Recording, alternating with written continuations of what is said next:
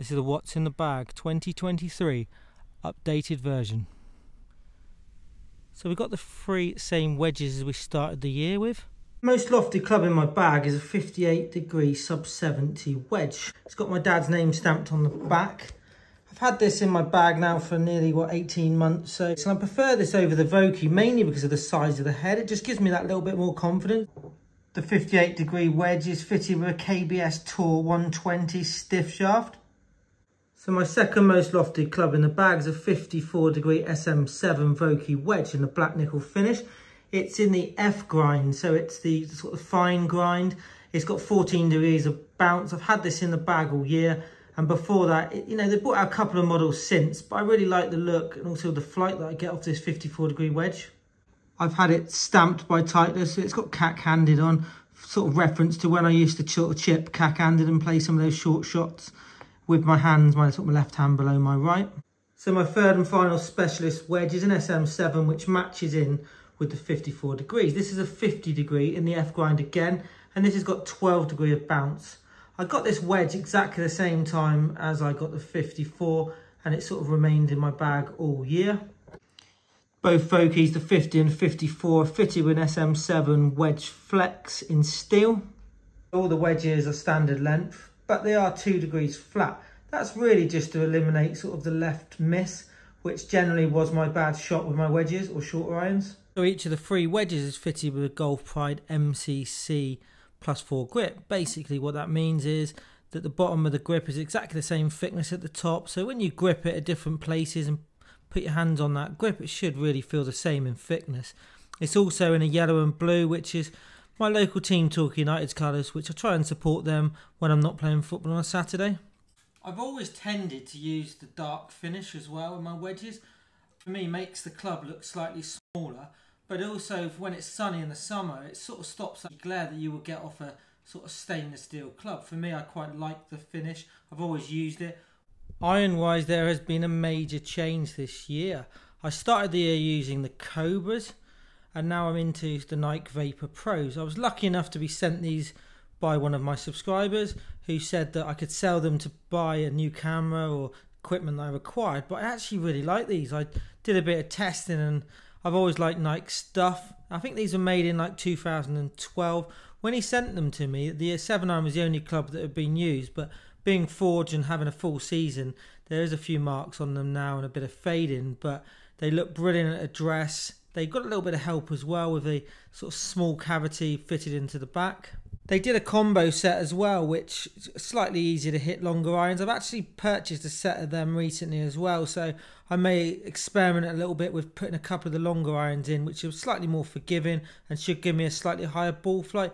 I tend to still hit the ball quite low with all my clubs, so that little bit of extra sort of help, a little bit of weighting in a different position might give me a slightly higher ball flight in the longer irons. These irons are fitted with a dynamic gold, which is the S300, so a slightly stiffer shaft. It's very similar to what I've been using in the Cobras and also when I got fitted at sub 70 I was using a very similar shaft. It's a shaft I've used quite a long time. It's a shaft I like as well and all the grips are the original Nike sort of Golf Pride Tour Velvet style in standard. I don't have any extra tape underneath them. I do clean them regularly and they're still in good condition for a grip which is what, nearly 10 years old.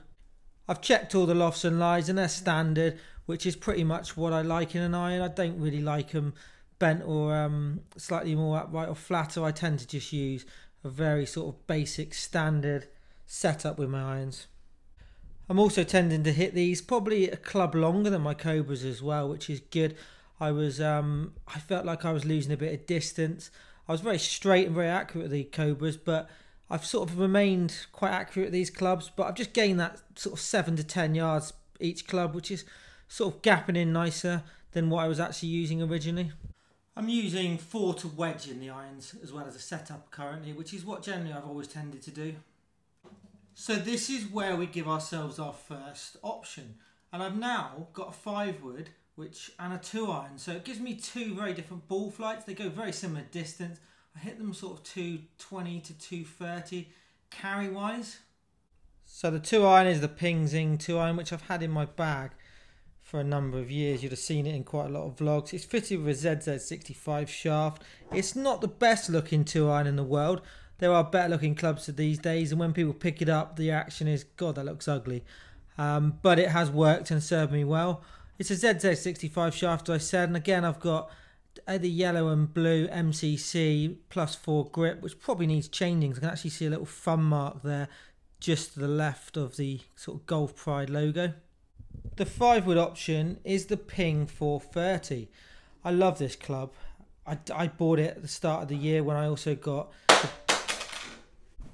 I don't think he was too happy about being dropped out the bag. It's just literally attacked me. So it's the Ping 430. It's 18 degrees in the five wood. Again, that club is changeable, so I can change the loft slightly. It's a beautiful looking golf club. It's a real, it's a, it's a new addition to the bag. It's I've had it in the bag since sort of early in the year when I also bought the driver to match in. It's really become my go-to club, which I now hit off the tee on tighter holes. And also just gives me the option of actually hitting from the from the sort of rough. I can get it out the semi. You can also get it out slightly deeper rough. Gives a really good flight, high flight, nice and spinny. Probably carry sort of 230, but I tended to hit this more than I'm hitting the two iron at the moment. But the two iron gives me the option if I'm playing a windy links golf course, I might play that if I'm playing a Parkland golf course, I will use this club because it will give me more carry and probably more versatile. So the 5 wood is fitted with a Tour 2.0 in the black. That's a ping shaft. It's the one Harry fitted me for. I actually quite like the shaft. It's a little bit more flexible than what I'm used to, but I've got used to it and I like the fact that it gives me a slightly higher flight. So I've literally just purchased this this morning from Harriet Cherson and this is 433 wood by Ping. 15 degrees and it is the max version so it's a slightly bigger head you can adjust it so the club is 15 degrees but I've actually took it down slightly so it's slightly stronger than the 15 degrees again I really wanted like a 14 14 and a half degree fairway wood which I can sort of it's bit of versatility so I can hit it off the tee when I'm not hitting it too well with a driver I can get a good lie on the fairway and on the longer par fives, I can probably just about get up with this club. I'm hoping it will sort of go sort of 240 to 250 when hit well. So the three wood shaft is different to the five wood, which might surprise a few people. Again, it's a 75S, so it's 10 grams heavier than what the five wood plays. It's also a slightly spinnier shaft, so that should again help me get the ball into the air. Uh, being slightly heavier, it will feel fractionally stiffer it will play fractionally stiffer as well. Although you see a higher ball flight. Again, I've, like I said, I've not tested it on the golf course. Grip on both fairway woods is basically just the Golf Pride Tour Velvet 360. So it's basically no logos on it at all. If you change the loft and the lie angle of the club, the grip, you know, the, the label's going to still, there's no label, so it doesn't really matter about that. I know some people are quite anal about having the grip with the actual line or alignment aid or even the logo literally going down and on the front of the club. That's never really bothered me, but this just gives the option if you do change lofts and lie, then it won't make any difference to actually how the grip feels or how the grip looks. Underneath this head cover, which is nicely um, sort of logoed and personalised, is an old club. It's not the G430 driver which I had at the start of the year, we've actually now gone gone back to the Cobra F8 driver. This is not the plus version, so it's the sort of higher spinning one. Um, it's had a few battle scars. There's a few little chips and dinks in it. There's a little bit of rust around the actual um, fitting sort of area, uh, and also where the weight is as well. But this is an oldie. I do spin it probably a little bit too high. It spins at sort of high twos into the threes, which I'm obviously losing a bit of distance with. But I feel that I can sacrifice a bit of distance for a bit of accuracy, and this has been back in my bag a couple of months now. I still think this driver looks absolutely amazing from address. I like the double crowns. You've got two colours. I also like the shading in the sort of towards the face, and then also the sort of speckled finish on the back. It's nicely rounded as well. I just think there's not many better looking drivers that have been produced and definitely this is my favorite Cobra. I've tried different Cobra drivers thinking that I might stick with Cobra but I've never hit anything as consistently and as well as this and this is back in the bag for this sort of the remainder of the year. The shaft although it's slightly sort of the label slightly worn it's a um, graphite design and it's a Tour AD in black and it's a DI6 and it's the X so it's stiffer than both my fairway woods. It's a shaft that I've moved around over the years. I've taken out of different clubs and different adapters and moved it into my current driver. It's a shaft I trust, the shaft I like. It's I know it's unusual to have a stiffer driver shaft than sort of the rest of your clubs, but I just feel that I quite like the fact it's stiffer. I can hit it slightly harder at times and feel like I'm not going to lose the ball sort of left or right. Um, and it's a stable shaft. It's the shaft that I've you know, like I said, I've used for a number of years and I've got good experiences and good sort of feelings when I hit the shaft. The grip fitted is a multi compound, so it's got basically corded at the top, very soft at the bottom. It's the Align version, so on the back of the grip, you've got a straight line, so it just fits in your hands better. Some people like the actual alignment aid. I've done a video actually on these grips and the uh, sort of the negatives and positives of using it. I'll be honest with you, the main reason I've got this grip on my clubs is I like the colour. It matches in with a head. That's the only reason really. I don't use the alignment or don't really feel that, that makes much difference to me. I do like the multi-compound feel, like the fact that it's soft on the right hand and your glove hand is sort of on the harder sort of corded area. But it's a standard grip. There's no extra tape. It's literally how it comes. Anyone who watches the channel may have noticed that I have changed putters and changed style completely. But I actually do have two putters both exactly the same heads. They're in the Rossi, the Rossi 2 version. And I've got a DFX one, which is brand spanking new. I bought that in the last sort of month, month and a half in the black finish. And I've also got the original Dual Force Rossi 2, which was kindly given to me by Paul Tolley.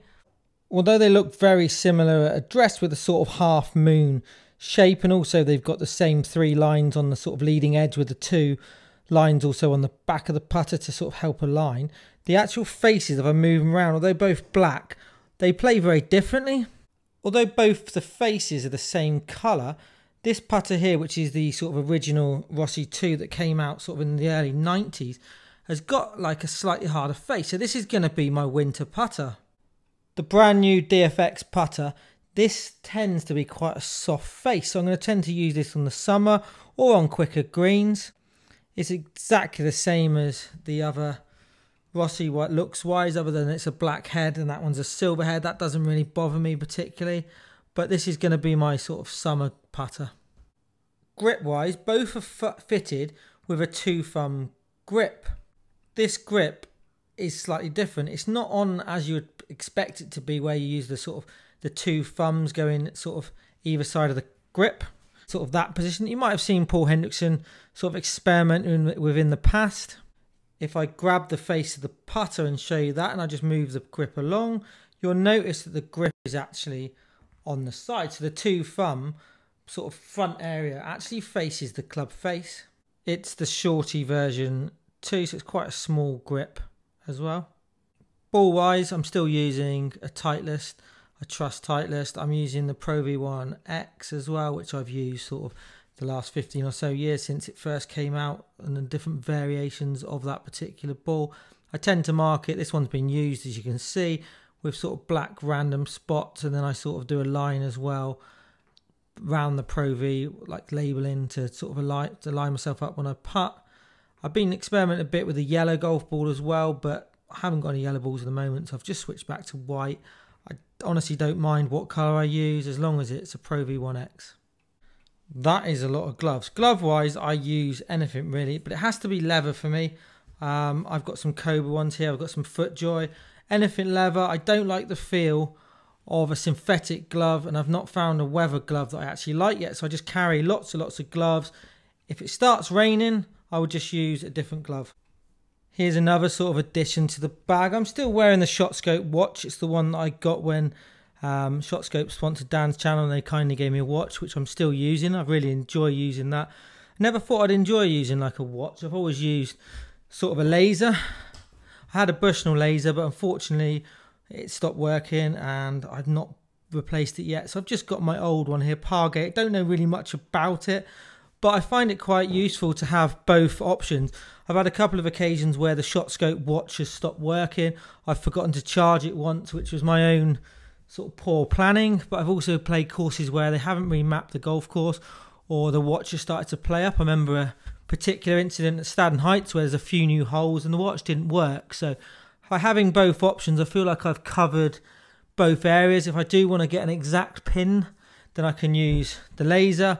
Most of the time, the watch is perfect. I can see if you can see where the pin is, you can work out more or less your yardage. But I do carry both of them in the bag at the moment. The wrist on the watch on my wrist, but I also do carry a laser in the bag. Drinks wise on the golf course, I'll always sort of make my own sort of juice up or take a Lucozade and then a water as well always important to have lots of sort of liquid refreshments. I'll also carry some sweets. I've just at the moment got one of these Slim Fast bars, which I actually quite like the taste of. I'm not trying to lose weight. I've also got an Alpen Light bar. Sometimes I'll have chocolate in my bag, and sometimes some polos just to suck on. We, I mean, I play at different times of the day. Sometimes I play early, sometimes I play late, and sometimes I play twice. So it's important to always make sure you've got enough sweets, enough enough food, really.